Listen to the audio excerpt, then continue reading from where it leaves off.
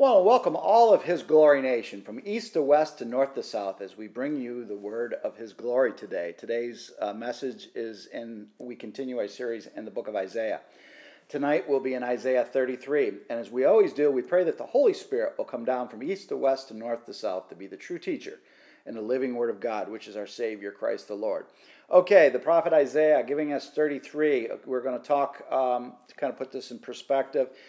Isaiah is talking about the six woes that are going to come in uh, Isaiah 33. And this is uh, Sennacherib, of the leader of the Assyrians. And uh, Hezekiah, one of the godly kings, was trying to buy the, the Assyrians off, and that was not working. And uh, the Assyrians were taking over land uh, like locusts, as the Lord says through Isaiah and uh, they were we see in Isaiah where, uh, earlier in Isaiah where they they come up and they're threatening them uh, to uh, annihilate the, Judah, and we see what God does in the end. God, uh, they they take trust in their in their the, the mighty God. And they, they were even uh, exposed, saying, "You know, look at all the gods that the Assyrian king has taken over. Those those gods are nothing." Your, what is your God? Your, what is your God Elohim? He is certainly no different than any of the other gods of the, of the, of the nations that this uh, Assyrian nation has, has conquered. And we're going to see not only does God uh, uh respond, but Sennacherib dies in the temple of his God, who he claimed was bigger than the one God, the true God, Elohim, the Father, the Son, and the Holy Spirit, killed by his sons and we see that how powerful angels are, angels of the Lord. One night, as we see um, in 2 Kings 18 13 through 15, one night, 185,000 Assyrians were killed by one angel of the Lord. That's how mighty God is. That's why we fear God. That's why we love God and give Him all of us because He, His way is the only way. And uh, 185,000 snapped up like that. That's how powerful the I am that I am is Elohim, Yahweh, the one and only true God, and three. Okay, Isaiah 33 1. Woe to you who plunder, though you have not been plundered, you who deal treacherously, though they have not dealt treacherously with you, which they will. Revenge will come on them. Not only God does it to the leader, but you're going to see how the Assyrians were taken over by the Babylonians, and history repeats itself exactly the way the scripture said. God told you, tells us in the beginning how each of the different nations will fall. And uh, he said, Who deal treacherously, though they have dealt treacherously with you. When you cease plundering, you will be plundered. So once they stop their massive thing, they will be plundered, and, and they were. When you make an end of dealing treacherously, they will deal treacherously with you, saying, An eye for an eye, your time is coming, and I will protect my beloved Judah for David's sake. That's the everlasting covenant. I will protect Jerusalem for King David, because his promise to David is an everlasting promise, the Davidic covenant. O Lord, be gracious to us, O Jehovah. We have waited for you. Be there, our, be their arm every morning, our salvation also in the time of trouble. So they're calling out to the Lord. Remember, Hezekiah uh, did a lot of the good things right. Um, and, you know, he did get prideful and show the Babylonians his. Uh, all, all the gold in the temple, which was not a smart move that Isaiah told him later on. But he did repent and he did seek the Lord's face. And we know that uh, Hezekiah uh, had love for the Lord. And he did tear down the high places and he did praise the Lord and he sought the Lord's face in this time of trouble. And it well, went well, even to the point of his death. Isaiah gave him a prophecy that he would die because of the sickness. And he, and he, he prayed. He prayed in earnest to the Lord with all his heart, his soul, and his mind. And the God heard him and said he would give him 15 more years. And so he was alive 15 more years. So in noise and tumult the people shall flee. When you lift up yourself, the nation shall be scattered. So the nation will become scattered, as we see when it happens when the Babylonians come in, and the nations will be scattered when the next time comes up that there will be a king the Most High King, Jesus Christ, comes back to kill to to bring in the last true judge, judgment in the end time in the book of Revelation, and we see in the book of Daniel. And it will be the Assyrian again. It will be the rebuilt Assyrians from Babylon. As it says in Jeremiah 51, the Babylonian Empire will be rebuilt, the Assyrian Empire will be, be rebuilt, and the lawless one we know from the scripture is an Assyrian. So that's what will happen with the Lord Most High through his Son, Jesus Christ. And your plunder shall be gathered like the gathering of caterpillar, and the running to and fro of locusts, he shall run upon them. So showing that he's, he's, he's taking on and just engulfing uh, these nations like locusts will go in and engulf the, the, the produce of the fields. That's how powerful the Assyrians were and thought they were. And they got haughty and thinking that their God and their might was more powerful than the one true God, Elohim. And God takes his name very serious. And he takes his city, his city very serious. He takes his people that are called by his name serious. And that's just not the remnant of the Jews.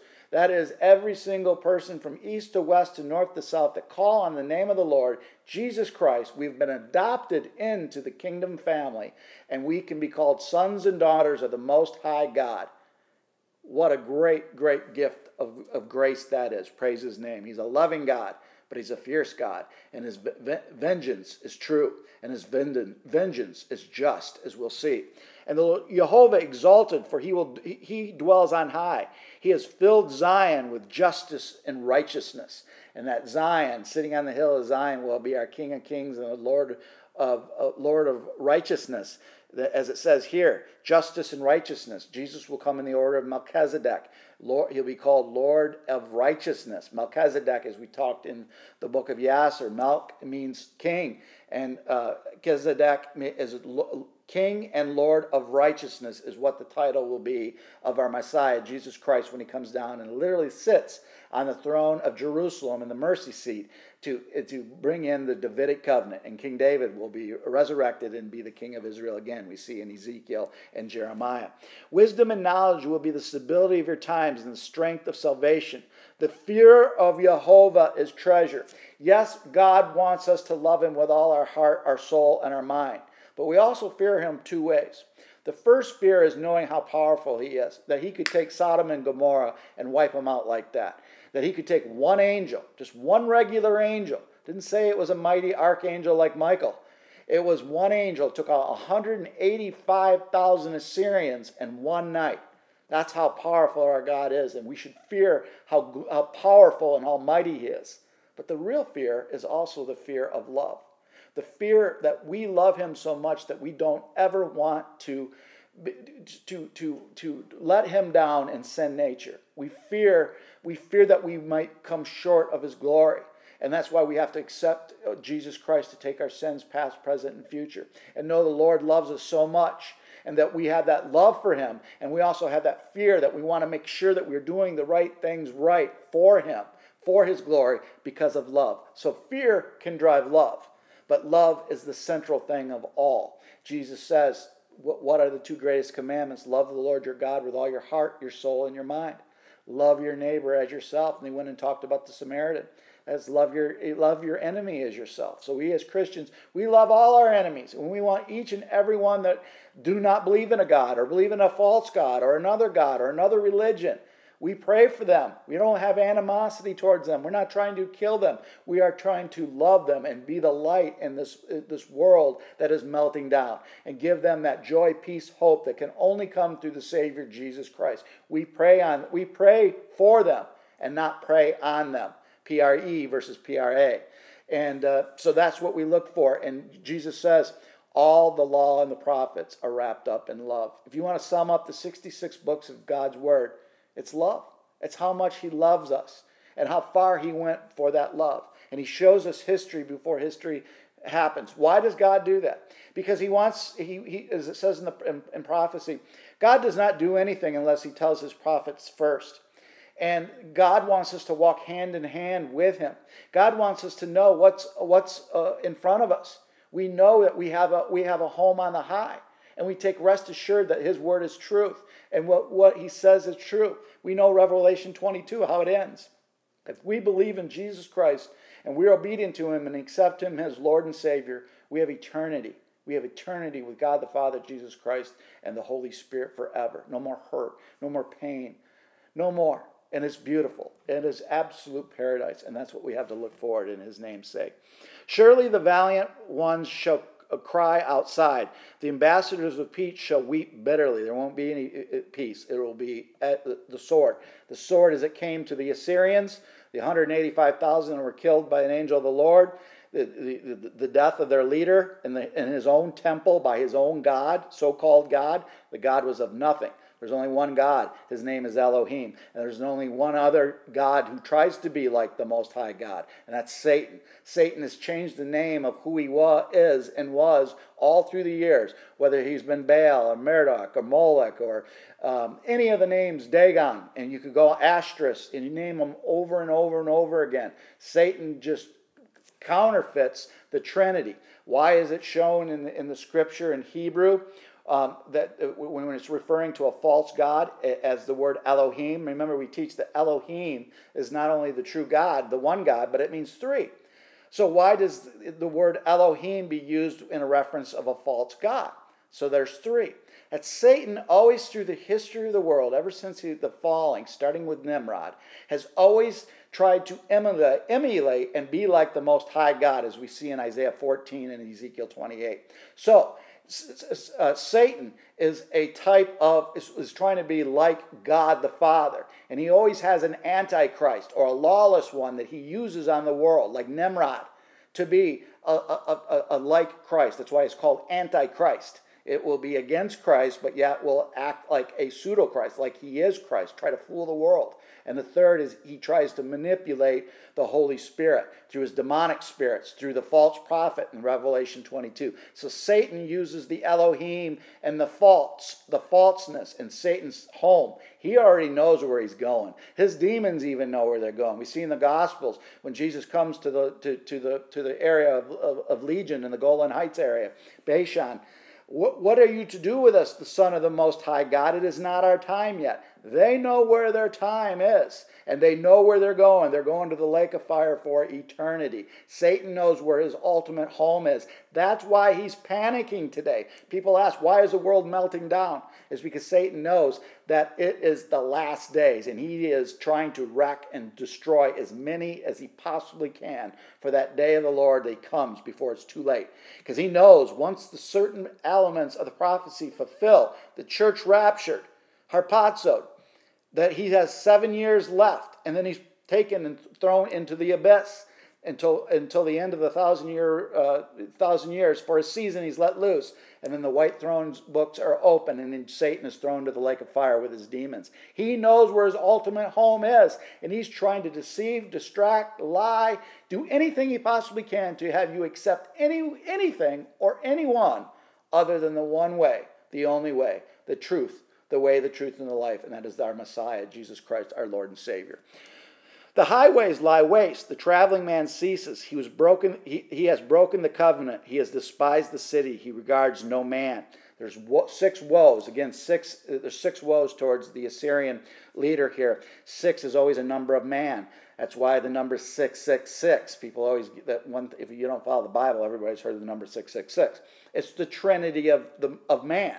And that's what it means, 666. It also represents, in the time of Solomon, that was the, the, the monetary, it was 666 talents that were re- required to come to the, the treasury from all over the world. So six is a number of man, and it also is a, a symbolism of a commerce. We see in the, in the days of, of, of the new Babylon that will come with the Assyrian that Babylon will be a commerce place, and the number 666 will be initiated with that where Christ and God the Father are the, the three sevens. And that's completion, the completion of all the things that we've had to go through, the trials and tribulations. That's what six means. Now I will rise, says the Lord. Now I will be exalted. Uh, I mean, skip uh, verse 9. The earth mourns and languishes. Lebanon is shamed and shriveled. Sharon is like a wilderness, and Bashan and Carmel shake off their fruit. Literally did that. Um, now I will rise, says Jehovah. Now I will be exalted. Now I will lift myself up. He will be exalted. The one name, the one God, whose word is above his name. His name is Elohim, the I am that I am. God the Father, Jesus Christ, and the Holy Spirit praise his name. You shall con- conceive chaff, you shall bring forth stubble. Your breath as fire, you shall devour you. Fire judgment. Christ will come in the second judgment. The first judgment uh, was the water judgment, where, where uh, God gave the covenant of the rainbow to Noah that he would not flood the earth again. But the second and last judgment is the fire judgment, where Jesus comes as a wrath. That's why his, his, his, it was bronze feet in, in the book of Daniel. Bronze is the only element that can withstand fire. Fire, for the fire judgment's coming. And out of his mouth will become fire of the sword, the two edged sword, the word of God. Uh, shall bring forth stubble, your breath as fire shall devour you. Literally. Not a figure of speech. Fire will come out of his mouth. And people shall be like the, the burnings of lime, like thorns cut up that shall be burned in the fire. Hear you who are far off what I have done, and you who are near, acknowledge my might. He said, The world will acknowledge my might, me, the one, the true, the only God, the God Elohim, the Father, the Son, and the Holy Spirit, the God above all gods. Every other God was a, a, a, a, uh, a formation of Satan trying to deceive. The sinners are in Zion are afraid. The fearlessness has seized the, the hypocrites. Who among you shall dwell with the devouring fire? Who among you shall dwell with the everlasting burning? There's no hiding. He says, Those who sinners in, the, the sinners in Zion are afraid. The fearful are the hypocrites that know that justice is going to be served. And the King of Kings and the Lord of Hosts is coming back to redeem. Redeem the remnant that are called by his name, that have given their heart, their soul, and their mind to the one God through his Son, Jesus Christ. He will dwell, he who walks righteously and speaks uprightly, he who despises the gain of oppression who gestures with his hands, refusing bribes, who stops his ears from hearing of the bloodshed, and shouts his eyes from seeing evil. Stand up, walk the way of the Lord. We are called to be beacons of light like Christ. And we walk in his truth. We walk in his light. And we walk in his word. And we are obedient to his word so that we can fulfill what Isaiah is telling us in Isaiah 33 15 to be like, walk the way of Christ. Not for ourselves, but for the glory of the Lord, to be humble, to give ourselves as a light to the rest of the world. He will dwell on high. His place of defense will be a fortress of rocks. Bread will be given him. His water will be sure. Jesus is the bread. He is the bread of life, and his water is sure, the living water. And he is the rock. He is the foundation. He is the cornerstone. He has been shown us to us over and over again in the Old Testament that the coming day of God's Son, the King, the King of Kings, the Lord of hosts, Jesus Christ. Your heart will be med- meditate on terror. Where is the scribe? Oh, I'm sorry, verse 17. Your eyes will see the king and his beauty. They will see the land that's very far off, the king and his beauty, the beauty of the Most High. Your heart will meditate on terror. Where is the scribe? Where is the weights? Who is who counter the towers? No, justice will be served. God knows of the hearts and he knows the deeds, and all works will be evaluated. You will not see fierce people, a people of obscure, obscure speech beyond perception, of stammering tongue that you cannot understand. So you remember the Tower of Babel. God destroyed the, the, the communication. There's one language up until then. But Nimrod, who was the first Antichrist, Satan used Nimrod literally to be against God. And if you read the book of Yasser, even though it's not canon, we see it goes deeper than what we see in the Genesis. We know that Nimrod was a, it says a mighty warrior. Uh, it's mistranslated in our in Genesis as a mighty warrior of the Lord. That's it's not what it says in Hebrew. He was he was a warrior against Jehovah. He was against Elohim. He was a antichrist. That was Satan using a man as a, the first antichrist. And God changed the languages at, at the Tower of Babel. And we're going to see that we're going to go back to one language again, like it was before uh, Satan fell and the sin came into the world. We will be speaking one language, and that language will be in the pure Hebrew. And when you read the, the in Yasser, what Nimrod was doing, he wasn't building that tower to show how g- great he was and his his his, his uh, earthly might.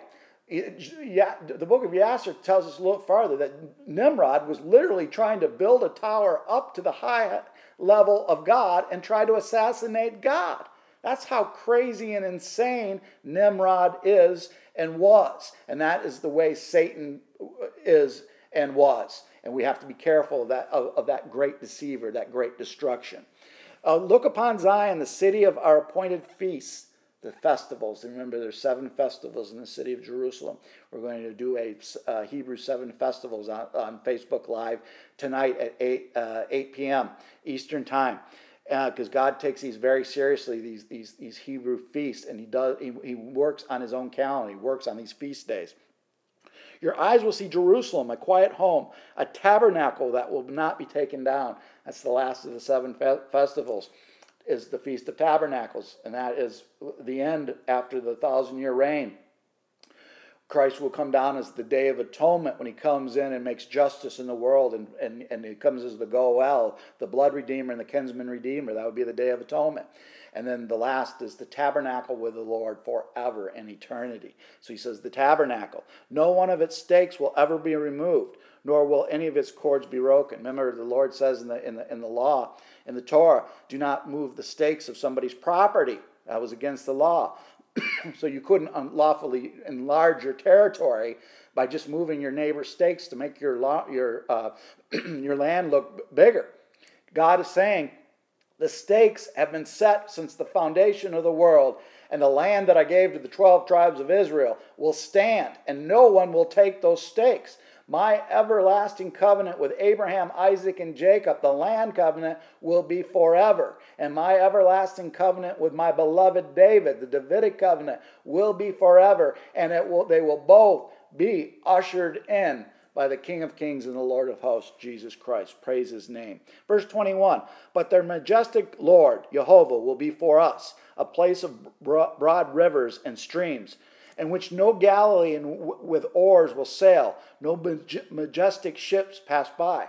You read that and you think, well, what's he talking about? Just fluttery of words? No, he's telling us that um, the Lord will come in, uh, in, in, in, the, in the new uh, for everlasting life. Remember, we see in Revelation 22 that there will be no sun and moon anymore because the light, the, the, the, the, the, the Shekinah light of God the Father, Jesus Christ, will light the universe. He will be, he's literally light. He is literally going to light the universe. And we also see the sea is gone because the sea is an idiom of the second death, the final death to sin to the lake of fire. And yes, it's a lake of fire. It's a fire judgment. That's why Jesus is coming down with, with, with fire out of his mouth. And it's showing us here what? That there will be rivers, but there will be no sea. God has taken away sea in eternity. So there's no majestic ships going on the big sea. At verse 22, for Jehovah is our judge. One judge. That's Jehovah. His name Elohim. The, the Jehovah is our lawgiver. He gave us his law. He gave us his precepts, his commandments. They're called his word. And he is the word, the literal word. The Lord, Jehovah, is our king. Yes, he has to be the king in the lion uh, of the lion of the tribe of Judah out of the line of King David for the Davidic covenant. I will have a king in the order of David forever, so, thus says the Lord, and it shall be. Remember when Judah or Jacob was giving his, his in Genesis, he was giving his prophecy to the 12 tribes. He says, The scepter shall not leave um, Judah until Shiloh comes. Well, what does that mean? Shiloh is an Old Testament uh, reference to the Messiah, saying this, and the scepter is showing you the, the authority of the rod of the kingship showing you that kingship would come out of the line, uh, out of the line of Judah, and the symbol of, of Judah was the lion. And out of that came King David, David's line forever. And the scepter shall not leave until Shiloh comes, meaning the scepter will never leave the kingship until the Messiah comes. And when the Messiah comes the second time, the Lord Almighty, Jesus Christ, He is the King of kings and the Lord of hosts forever. All through Scripture, it points to this magnificent day. You're, you're, um, so the Lord, Jehovah is our King. He will save us. He will save us. Not save us from harm or save us from, from fear. This is a literal save. He's saving our soul. This is your soul and your spirit that you're dealing with. Your soul and spirit live on forever. Even scientists today have shown you, even though they're atheists, will show you that the soul and the spirit live on after the death and the body will go to the to the ground. But the soul and spirit even even secular scientists tell us that they live on. But where do they go? They can only go two places. If you accept Jesus Christ as Lord and Savior, your soul and spirit live on with the Trinity of Father, Son, and Holy Ghost forever until your resurrected body comes at the harpazo and with the resurrection, the catch up, as Paul says in Thessalonican. Or you deny the Christ or you deny anything, you accept anything other than the Lord Jesus Christ. You ever wonder why Satan gets so upset with Jesus Christ? You ever wonder why demons just shriek in the name of Jesus Christ? They don't shriek in any other name. And Satan is never fearful of any other name but Jesus Christ. He'll never give glory to Jesus Christ because Satan knows the Scripture. The demons know the Scripture. It's through the way of the Lord. Jesus Christ is the way, the truth, and the life. They know it. And they know that day of reckoning is coming. And those who deny the name because of the deceit, distraction, or whatever happens of why you did it, you'll see your name removed from the Lamb's book of life. You'll see your world, your deeds, and your works and you'll see the times that you've had the opportunity to accept the Messiah, Jesus Christ, as your Lord and Savior, and you didn't for whatever reason, whether it's hardness of his heart or tradition or whatever it was. And that punishment will be a like punishment of what you did for the second death. And that is in the lake of fire for eternity. Verse 23 Your tackle is loosed. They could not strengthen their mast, they could not spread the sail because there is no sea anymore. It's just the living water and the rivers and streams. Then they prey on great plunder is divided. The lame take the prey.